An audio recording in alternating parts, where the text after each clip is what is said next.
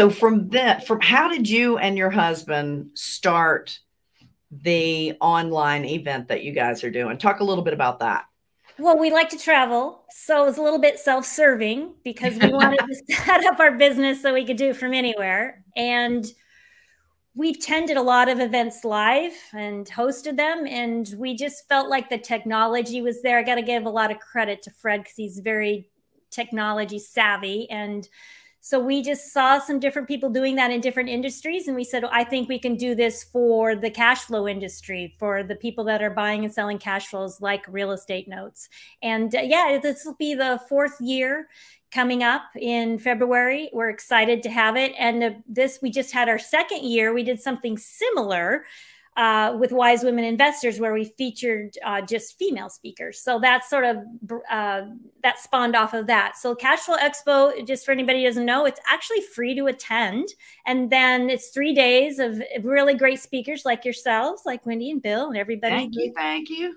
they they don't sell; they're they educate. That's one of our qualifications to be a speaker and we then uh, do sell VIP upgrade tickets that people can come in and watch the recordings and get the downloads um, at their leisure whenever they want. So free to attend live, and if you want the VIP recordings, um, then we make those. And then that's all male and female, all different aspects of cash flow, passive income, and then from that we focused on the fall on all female investors, and that's two days, and we do something similar.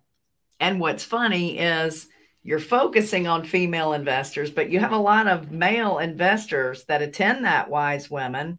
In fact, I just got an email this morning from a guy that was on it that was asking me questions that had heard me speak.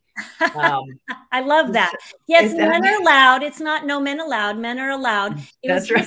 It's a platform to focus on some female speakers. Now, we did this for two reasons. It's kind of a passion project.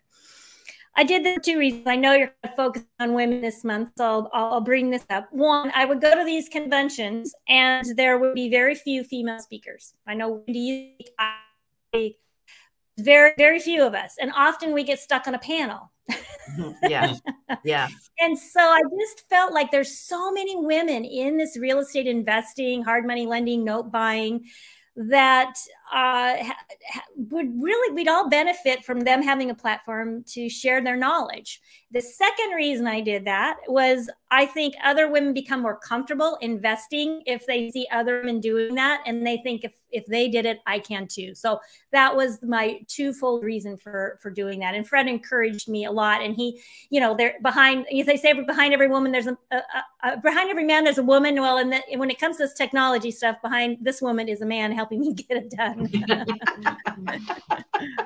That's awesome.